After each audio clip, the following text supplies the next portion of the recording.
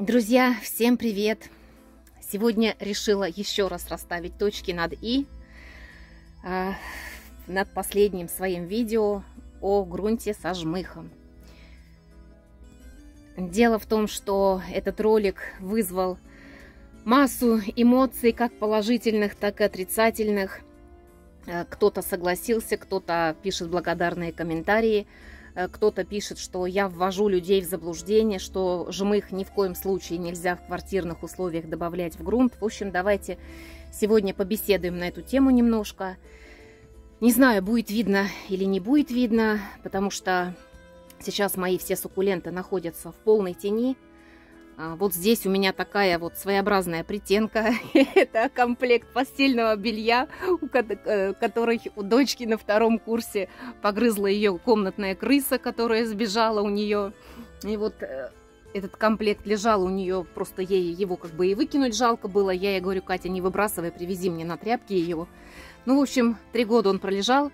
И вот успешно после пятого курса, после окончания моей дочери медицинского вуза, в общем, приехал этот комплект сюда и очень даже пригодился, друзья. Вот третья часть теплицы практически накрыта этим комплектом, но без наволочек, естественно. Вот. И тут дальше тоже старые бабушкины пододеяльники пошли в ход. Вот там еще тюль совдеповских времен, тоже бабушкина. Ничего не выбрасывайте, друзья. Вот такие наши мамы и бабушки запасливые. Вот кто бы знал, что это тюль с этикеткой, новейшая с этикеткой. Там еще старинная этикетка. Вот она, кстати, вот просвечивается вон. Да. Она долежит, долежала, вернее. Не знаю, сколько она лет лежала, может быть, лет 40 она лежала. И, и вот она нашла свое применение. В общем, так у меня сейчас тут затенено, друзья. Если бы не притенка, то суккуленты бы все давным-давно погибли. Потому что вот Жара адская. В теплице сейчас 36 градусов. Видите? Ой, дышать нечем. Просто нечем. На улицу вообще не выйти. Пекло невозможное. Дел очень много, а сил нет, потому что жара сжирает все силы. Ну ладно. В общем, возвращаемся и начинаем опять видео про грунт со жмыхом. Видно, хоть там что-нибудь будет или нет. Ну, может быть, буду на улицу выносить, показывать. Потому что по-другому никак, друзья. Ой, жмых у меня тут лежит, друзья. Пахнет невероятно. В общем, вот он, герой нашего романа, герой нашей повести, кинофильма, как хотите, так и называйте. Вот так выглядит жмых. Давайте на улицу уйдем, может быть, там лучше будет видно. Так, в общем, вот так он выглядит. Вот смотрите, ой, Куда смотреть-то? Ну, съемщик из меня отличный. Кто-то говорит, что у меня голова кружится от вашей съемки. У меня у самой кружится, друзья. Ну, как умею, так снимаю. Ну, кому не нравится, кого раздражает, по-другому не умею. Вот смотрите, какая структура этого жмыха. Запах просто подсолнечный, обалденный. Я не знаю, прожаренный он или не прожаренный. У меня спрашивали, какой это жмых, какой покупать. Есть обычный, есть э, из прожаренных семечек. Без понятия, друзья. Но пахнет, наверное, все-таки прожаренным. Потому что очень душистый. Вот жареными семечками пахнет. Вот такая структура у этого жмыха. Он достаточно маслянистый. В жмыхе содержится э, до 10% масел. Поэтому имейте это в виду когда добавляете этот компонент в свой грунт. Сейчас будем говорить, когда можно добавлять, когда нельзя. Вот он такой, знаете, есть прям мелко дробленый, а есть вот такие кусочки большие. То есть, если они попадаются, вам их, конечно же, нужно а, либо пальцами раздавливать. Ну, пальцами опять в мелкую стружку не получится. Ну, кофемолку, мне кажется, на, на жмых жалко. Э, вот, ну, кому не жалко, мне жалко. Кому не жалко, можете в, кофе, в кофемолке. Можно просто толкушкой. Он, кстати, легко разбивается, но пальцами неудобно и больновато пальцы. Вот. И до мелкой фракции все равно пальцами будет очень долго. Вот. А так взял толкушку какую-нибудь, потолок, и он нормально рассыпется. Это просто спрессованный, видимо, вот от стенок э, в той емкости, в которой прессовали. И вот от стенок потом отдирали они. Он, видите, вот тут даже вот с одной стороны гладкий, а с другой вот такой, ну, как и любое вещество, которое прилипает к стенкам. Вот он, видите, даже прям блестит. Вот. А с этой стороны шершавый. В общем, так он выглядит, этот жмых. Э, недавно я покупала, ходила. Тот у меня закончился, который коты раскидали. Я покупала, заскочила просто как галопом по Европам. Э, ехала на велосипеде мимо этого магазина. Думаю, дай куплю, мне там надо суккуленты пересаживать. В общем, чтобы оно было. Вот, но уже немножечко я отсюда брала, два пакета купила. У нас он стоит вот в этом в магазине кормов 37 рублей килограмм. Он расфасован по пакетам по килограмму, ну по килограмму расфасован. И вот такой пакет 37 рублей. Ну, тут даже вот пшеничка попадается. Пшеничка это потом в грунте прорастет, а потом мы удивляемся, откуда у нас горох растет. Ну, горох у меня тоже растет от того, что э, горох из прикормки, коты тоже все там у меня вместе стоит. Эти и прикормки, и грунты в сарае. Все это в одном месте. И вот попадает. Ну вот, друзья. Короче, жмых. Тут у меня вот кофеечек. Смотрите, видите, какая у меня кружка. Как тусиная. Вот так вот.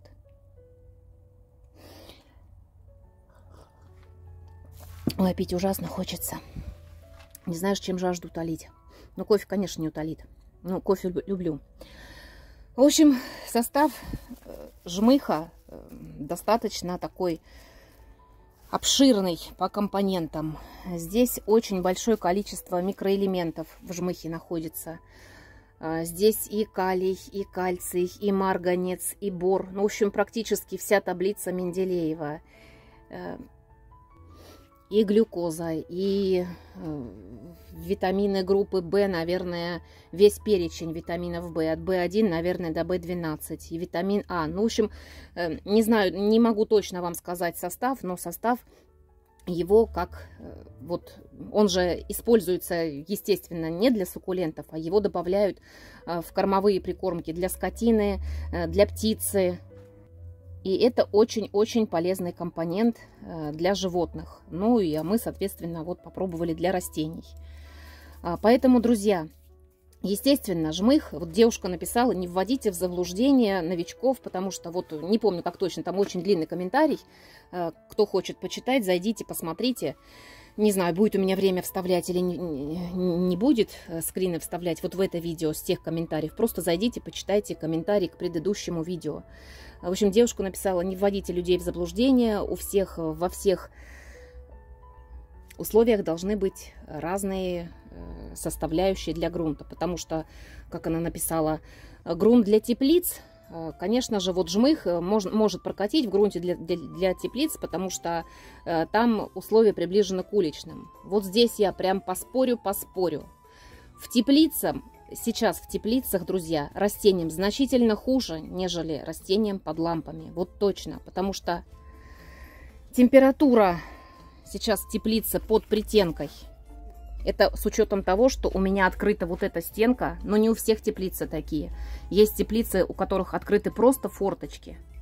Вот, а просто форточки, даже если там несколько форточек, все равно это меньше, чем открыта вот эта полностью одна сторона и полностью открыты две двери.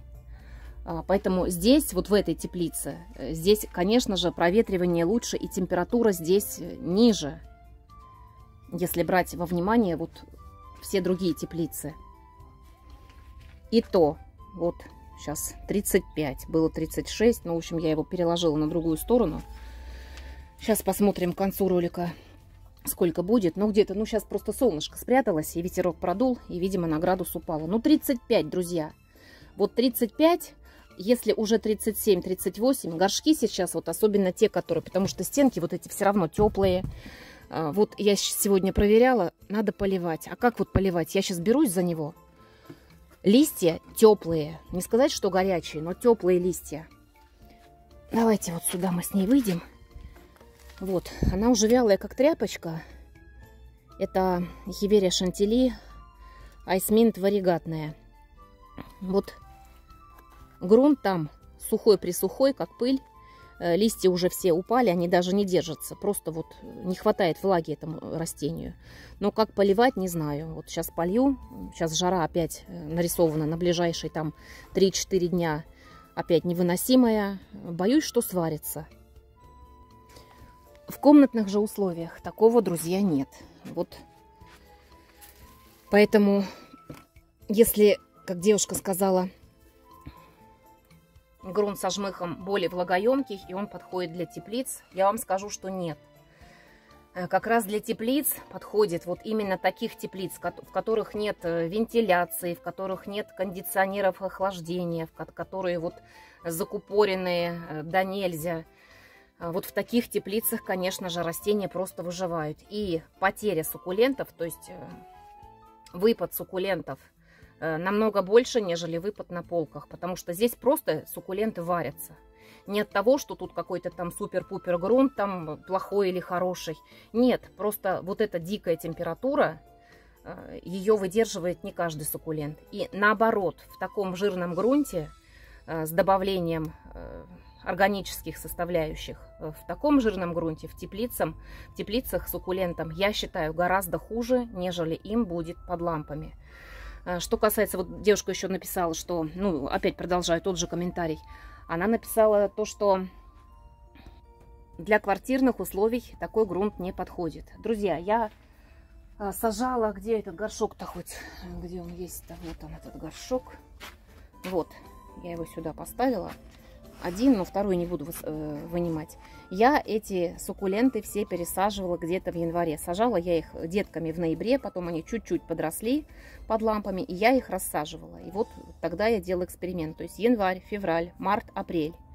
То есть 4 месяца эти растения находились под лампами. Ничто там не запрело, никакой грунт там не запрел, и до сих пор он не запрел. Э, и изначально, когда я сажала суккуленты именно в этот грунт со жмыхом, э, ни, никто там э, плесенью не обзавелся, и все с ними было хорошо. Просто здесь нужно знать норму. Не нужно, ага, он дешевый, 37 рублей килограмм, а куплю-ка я три пакета и пересажу все свои суккуленты в жмых. Конечно же нет, друзья. Вот смотрите, я, э, кто-то написал мне тоже, Ирина, напишите, пожалуйста, примерно снимите видео про пропорции, как добавлять жмых. Ну, вопрос, конечно же, э, верный. Э, снимать видео я отдельно не буду, потому что, ну, покажу и все, что там видео. Э, в общем, вот, друзья, я намешала. Смотрите, так, куда же нам это все поставить? И вот так нам снять. Вот, смотрите, состав моего грунта приблизительно Сейчас. Ходила, друзья, за линейкой. Сейчас про линейку еще несколько слов скажу. Сейчас мы с вами дойдем быстро. Кто-то просил показать мой сад, но смотреть тут шибко не на что. У нас прошел град. Ой, это был ужас. Ладно, про град потом. В общем, принесла линейку, друзья. Вот Сейчас у меня белые горшки все закончились. Вот такие, в каких сидят суккуленты. Новые я не заказывала. Я сегодня, кстати, посчитала, посмотрела у кого-то э, какой-то то ли фотографии, то ли где же она мне попалась. То ли в Телеграм, то ли еще где-то. В общем, горшочки. Горшочки такие э, обычные, глиняные, круглые. И вот у девушки сидят эти все растения. Ну, там несколько штук э, на фотографии есть. Они сидят все в коричневых глиняных неглазурованных горшках. Ну, обычные такие, не особо дорогие они. Ну, рублей где-то 200 этот горшок стоит. Ой, вот я посчитала, друзья. Думаю, да, красиво смотрится. Глиняная посуда, не глазурованная, суккуленты в, нем, в них растут хорошо в таких горшках. А, материал, структура сама пористая, дышащая. То есть вот самое то, что нужно а, для суккулентов в частности. Думаю, так, сколько же у меня? Ну, примерно где-то 400 растений у меня есть. Ну, наверное, есть, да. Я так думаю, что есть. 400 горшков у меня есть. С учетом того, что у меня еще вот здесь вот, э, ну, тут, конечно же, продажные, но э, мои тут тоже есть, которые надо посадить, которые не пересаженные. Вот. И одним словом, 400 горшков примерно, может быть 500. Ну, я брала 400. 400 горшков умножить на 200 рублей. Мне нужно 80 тысяч, друзья, чтобы заменить горшки всем своим суккулентам. И поэтому я подумала, что не, нафиг, пусть они сидят у меня лучше вот в таких. А, кстати, кому нужны вот такие горшки, друзья, вот, а, не знаю, какие они тут, сейчас мы его замерим. Вот здесь где-то ну, восемь с половиной сантиметров диаметр этого горшка. Высота, ай, ну, высота где-то семь с половиной, потому что от нолика там еще где-то сантиметр. В общем, 8 на 7, одним словом. Вот такой горшок. Вот на такой горшок я насыпала на глаз. Ну, приблизительно я уже знаю, как чего мешать. Вот на такой горшок я насыпала составляющие, э, которые влезут именно в этот горшок. Вот смотрите, это грунт. Просто я брала здесь использованный грунт, не использованный, не, я его никак еще в пакете не перетащу сюда, у меня там все в квартире, в сарае. Это вот э, использованный грунт. Ну, вы берете не использованный. Кто хочет использованный. Я, кстати, использованный тоже беру, если в нем суккулент рос нормально, если там очень много разрыхлителей. Корни вынимаю, грунт опять этот же добавляю. Ну, не весь, конечно, добав... мешаю с неиспользованным. Э, добавляю песок. И вот он жмых. Вот смотрите, процентное соотношение. Половина грунта торфяного, половина песка, и вот такое соотношение процентов жмыха. То есть, если он стоит 37 рублей килограмм, это не значит, что нужно полкило э, кидать э, и сыпать в грунт. Немножко, потому что это очень э, сильное минеральное вещество. Ну, не вещество, а э,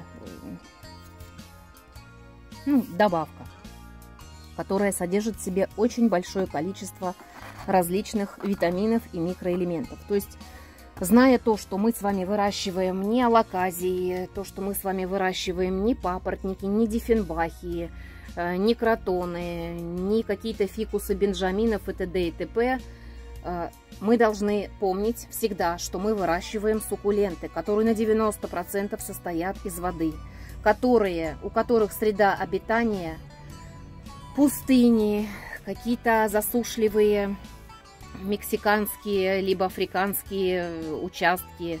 То есть они выходцы из жарких стран, оттуда, где нет ни чернозема, ни естественно жмыха, э, ни вот такой рыхлой торфяной земли. Там песок, какая-то красная глина, еще чего-то. В общем, объединенные, приобъединенные почвы. И учитывая все это, естественно, Э, на грунт с горшком жмыха нужно положить совсем немножко. Ну, можно даже чуть побольше, чем вот здесь. Но я думаю, вот этого э, количества вот на такой горшок 7 на 8 будет достаточно. Но если горшок вот как у меня квадратный, вот эти коричневые, э, тут 9 на 9, и высота, по-моему, у них 10. Ну, немножечко побольше добавить. Вот. Вот такое соотношение компонентов в моем грунте. На дно дренаж из пенопласта, где-то вот 40, примерно вот сейчас будет 40 процентов э, земли торфяной. Это торфяная земля, э, песка, песок крупнозернистый, не мелкий. Можно даже еще крупнее аквариумный, но это не аквариумный, это карьерный песок, но он тоже не мелкий, потому что речной еще мельче, речной вообще как пыль. И вот такое, э, ну сколько здесь, наверное, 50-граммовая рюмочка, наверное, будет здесь. Может быть, грамм 60. Ну, максимум, может быть, нет, 70 не будет. Грамм 60 здесь будет жмыха. Ну, вот в таком процентном соотношении мешайте. Не помню, эта девушка или другая девушка написала, что э, привела в сравнение, что вот Георгий Аристов выращивает, у него большая теплица, у него там э, растения сидят в 30-сантиметровых горшках. Да, я видела в больших горшках, и они у него такие большие, жирные, не потому что он добавляет жмых, а потому что у него там добавлено в составе глина. Друзья, я добавляла в состав глину. Э, Георгий Аристов давным-давно еще говорил, что он добавляет глину. Я, наверное, лет, может быть, 5 или 4 года где-то назад тоже надыбала себе глины и добавляла в свои суккуленты. Ну, что я вам скажу? Никакого прям супер такого аховского роста от тех суккулентов не было. Абсолютно не было. А, дело в том, что, ну, я не знаю, в каком процентном соотношении у Георгия э, глина, но я думаю, что тоже где-то процентов, может быть, 30, ну, максимум, может быть, 40. Не в чистую глину он их сажает. Но даже если в чистую глину, вот э, кто просто знает, что такое глина и знает, как растут на глине обычные растения, ну не суккулентные, а просто растения в природе растут на глине. Я вам скажу, что они не очень хорошо растут на глине. Э, у нас здесь недалеко карьер. Э, у меня, да что далеко ходить, у меня вот там, вот когда я э, копала, вот там разбивала себе вот эту вот горку, Здесь я все выкапывала, все эти камни выкорчевывала. И вот на том конце, туда вот, где розовая растет эхиноцея, вот там, даже за эхиноцеей, там очень, ну, скажем так, практически глинистая земля. Дальше туда. Я посадила там, э, как раз к забору, посадила туда кустарник. И вот я его перекапывала, он был... Э, ну, я ему там корни обрубила, он очень старый был. В общем, что-то там от него осталось, остальное все засохло. Но молодые побеги, друзья, которые растут именно на глине, вот их просто отсюда сейчас не видно. Вот те молодые побеги, они за вот второй год пошел, как я посадила, уже вот прошлой весной я сажала, в прошлом году. Э, практически не развиваются, и они желтые. То есть им, если они желтые, видно, что их нужно подкармливать, им не хватает каких-то микроэлементов. Возможно, возможно калия, э, возможно, может быть цинка, может быть меди им не хватает. Ну, в общем, что-то там не так. А дело в том, что там глинистая почва. Поэтому, если мы добавляем глину в свои суккуленты, это не значит, что они у вас сразу будут расти, их нужно будет сажать в 30-сантиметровое кашпо. Нет. Проверено это просто. Проверено. Я, когда посмотрела этот ролик, ну, давным-давно Георгий снимал, по-моему, э, мешал он там в какой-то в большой бадье, я уже не помню этот ролик его. Ну, в общем, я тоже решила добавить свои суккуленты глину. Мы ведь как с вами, ага, он сделал, и надо мне, она сделала, и мне надо. Ну, я проэкспериментировала. Сейчас я глину не добавляю, потому что, ну, не вижу я смысла ее добавлять. Э, нет от нее ни пользы, ни вреда, ничего. Я не оспариваю чужое мнение, это просто мое мнение, друзья. Хотите, соглашайтесь, хотите, не соглашайтесь.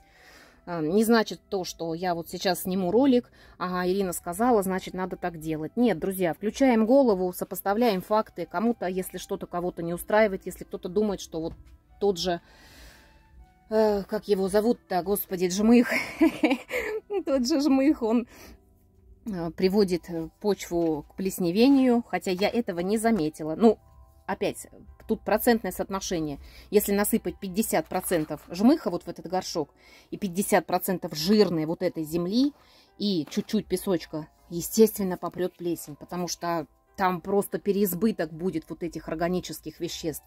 Естественно, попрет плесень. Поэтому нужно обязательно знать норму. Вот в случае с моим жмыхом, вернее, с моим экспериментом, вот с этим горшком и с другим тоже, в котором растут суккуленты, вот грунт со жмыхом. Э, и плесени здесь, как я уже говорила, нет, друзья. Но здесь я считаю, что жмыха здесь в этом горшке перебор. Несмотря на то, что эти суккуленты находятся в теплице. Э, это сейчас вот ну, несколько там ну, может быть, пару недель у меня вот она сейчас притенена. А так притенки-то ж тут не было. И они росли, можно сказать, на открытом воздухе. Они стояли, э, именно вот все детки вот эти, они, у меня стоят на проветриваемом месте, там, где гуляет воздух. Солнце здесь до обеда прямое, постоянное. Когда э, не была затонирована, ну, если это можно назвать тонировкой, то да. Э, когда не была затонирована крыша, Э, здесь солнца вполне хватало. Но, несмотря на все это дело, они все зеленые и седумы, вот эти граптоседумы Франческо Балди, посмотрите, они тянутся, то есть они опережают свой рост. То есть вот этого быть не должно с суккулентами. Им просто настолько хорошо и комфортно, что они, блин, они растут, как, не знаю, как елки. Такого быть не должно. Они жирные, они массивные, они огромные. Это, конечно, хорошо, но дело в том, что они тянутся. А почему они тянутся? Потому что там слишком много органики. Вот я перебрала. Но опять, это же был эксперимент. Вот теперь я знаю, что много жмыха тоже плохо. Поэтому во всем нужно знать меру. А у нас, если жмых дешевый, жмыха много, значит, надо сыпать много. Если есть песка полкомаза, значит, его надо весь вбухать. И они потом вообще нифига не будут расти. В общем, вот на своих ошибках дурак на чужих учится, а, то есть наоборот, умный на чужих, а дурак вот типа меня на своих. Но все равно это очень интересно, друзья. э, все равно вот эти все эксперименты, это свои эксперименты личные, это через это ты проходишь, ты уже знаешь точно, что вот, вот этот факт ты можешь оспорить, с этим фактом ты можешь согласиться.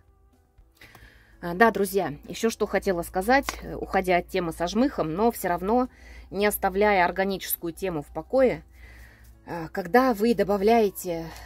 В общем, для чего? Да, подведем итог сначала. Э, грунт со жмыхом.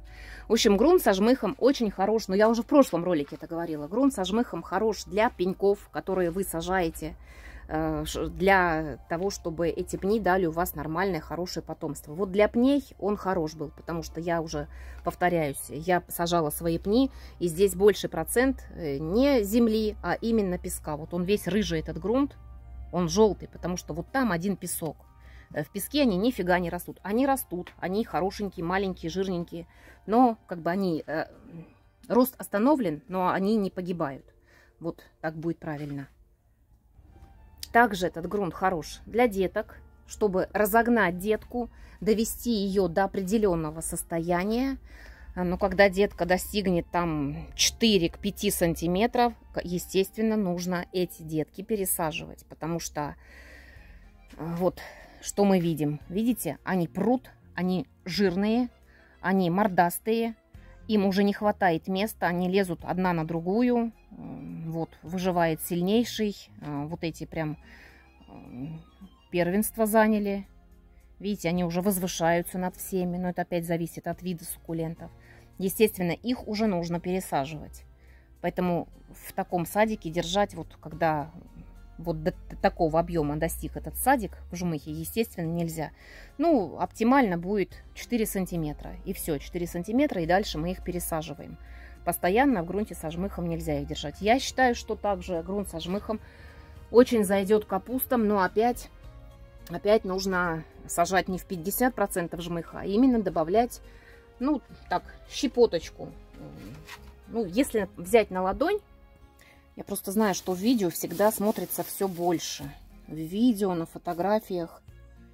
Вот у меня рука не маленькая, друзья, но вот, вот такое количество жмыха достаточно будет на горшок, чтобы посадить капусту, чтобы она у вас перла-приперла. Но не забывайте, что чем меньше жмыха, тем рост будет меньше. Вот так даже будет, наверное, более оптимально. Просто как добавку. То есть этот килограмм у вас жмыха, он вам хватит, там, я не знаю, насколько. Горшков, наверное, ну, на 100 точно. Просто разогнать-то капусту ее несложно. Когда она пойдет, наберет рост и будет активно нарастать. Э, естественно, у нее появятся кудри, листья это, эти будут как самолеты, большие, такие жирные, здоровые. Очень хорошо проявляется варигатность на таких листах. Э, но опять нужно знать, куда ее потом ставить. Вот э, уходя от грунта со жмыхом, но опять возвращаясь к нашим баранам, э, что мне опять еще хочется сказать, что если вы, допустим, сажаете, вот я начала с этого и забыла, и опять возвращаюсь, вспомнила. А, когда вы сажаете и добавляете э, в суккуленты, э, в землю, э, даже не жмых, а просто садовую землю, помните, что садовая земля это тоже органическая составляющая, и садовая земля точно так же действует на рост суккулентов. То есть суккулент начинает активно расти. Не сразу, там через месяц, через два он начинает набирать силу роста, и потом уже, когда он разгоняется, его уже не остановишь. Вот что и случилось с моими вот этими суккулентами. Я не знаю, друзья, вот у меня их несколько штук, и еще, наверное, две таких штуки, у меня будет целая полка. Им, наверное, уже, да, 30-литровый горшок надо будет. Вот я его сейчас опять возьму.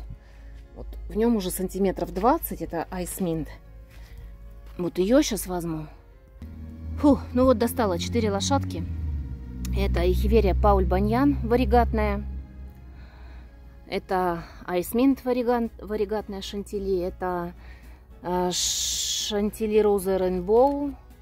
Зеленая она сейчас никак не роза, никак не рейнбоу. Просто вот зеленая призеленая. А это Crimson Tide. И все эти растения где-то, наверное, сантиметров под 20 от листа до листа. Это, наверное, даже больше. Айсмин. Сейчас я померю телефоном. Ну, да, сантиметр 22 где-то.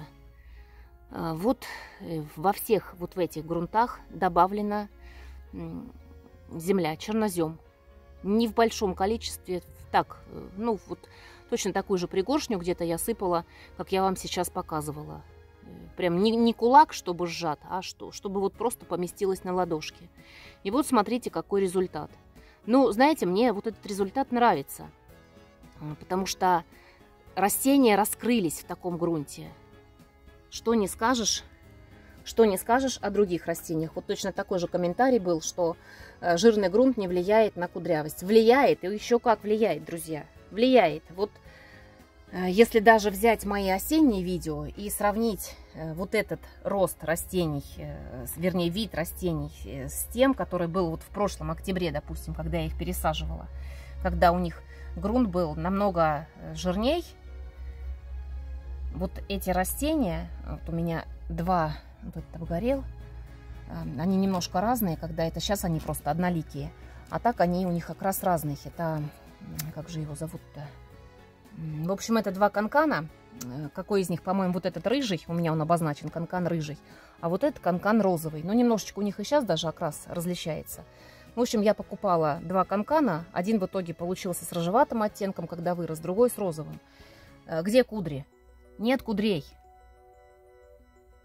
Абсолютно нет кудрей. А, так, кого же еще вам показать, который должен быть супер-пупер кудрявым и который нифига не хочет кудрявиться? Ой, да кого не возьми, так это кто у нас? Это Альтамей. Ну вот Альтамей тоже, она кудрявая. Она должна быть кудрявая. Здесь грунт беднейший, просто беднейший. Она ярко-красная и все. То есть никаких признаков у этой Альтамей не наблюдается. Вот разворигаченная шавиана курли. Там у нее один единственный лист остался, он варигатный. Остальное все утратилось. Это неустойчивый вид. А, но сама по себе она все равно неплохая. Но тоже кудрей нет. Видите, макушки, листья жирные, толстые, компактные. Но кудрей вот этих вот извилистых листьев нет. Потому что э, нет веществ в почве, от которой она будет кудрявиться. Ну и кого не возьми дальше. Кого тут еще-то взять? Кого показать-то?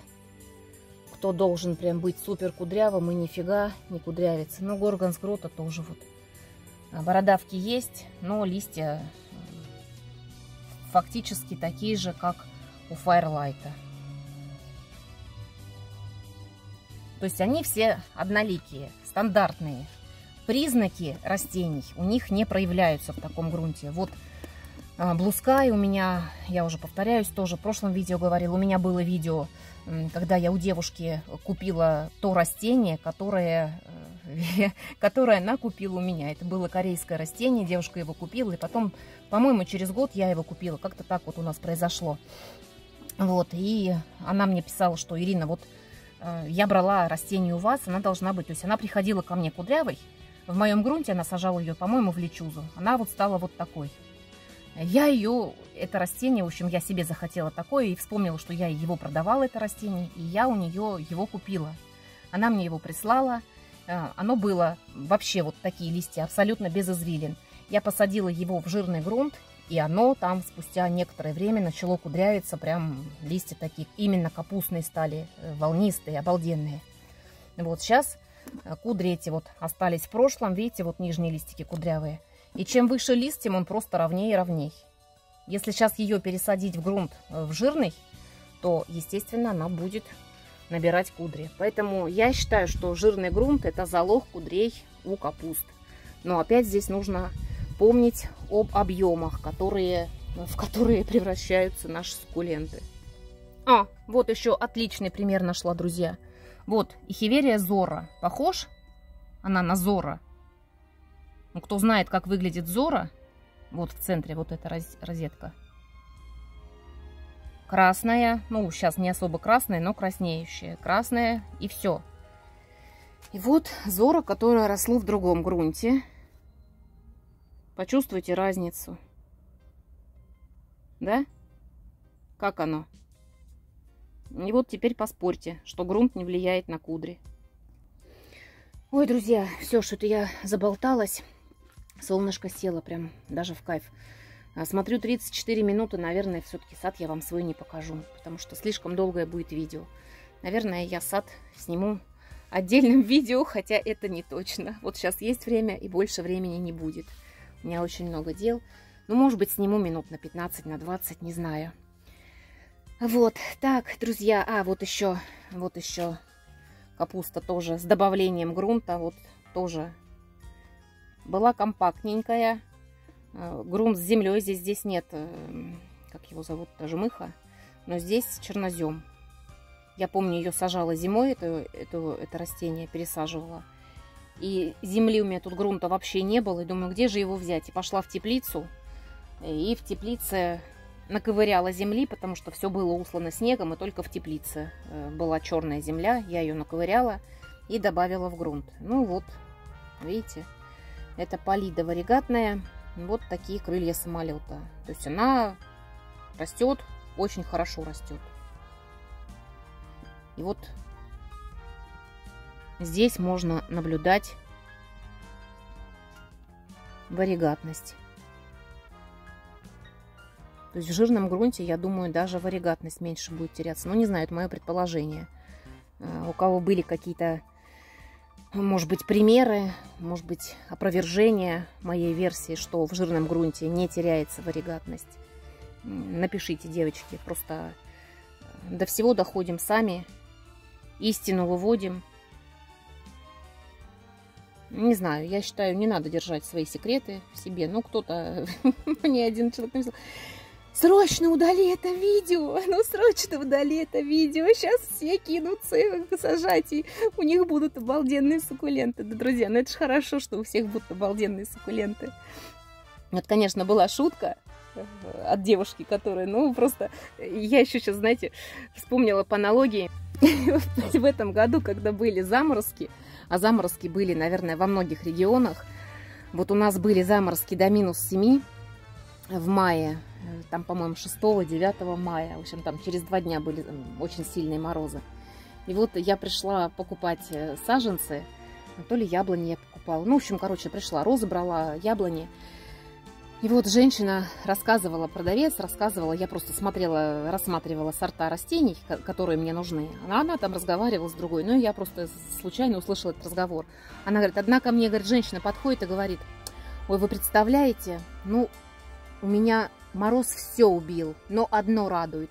И она говорит, я думала сейчас, ну одно радует, хоть вот это цело, вот это цело. И она говорит, ну одно радует. У всех все убил, ни у одной меня. Ну, в общем, друзья, вот так. На этой веселой нотке заканчиваю свое дерганное видео. Всем спасибо за просмотр. Всем крепких, жирных, здоровых растений. Всем мира, здоровья, добра. Пока-пока.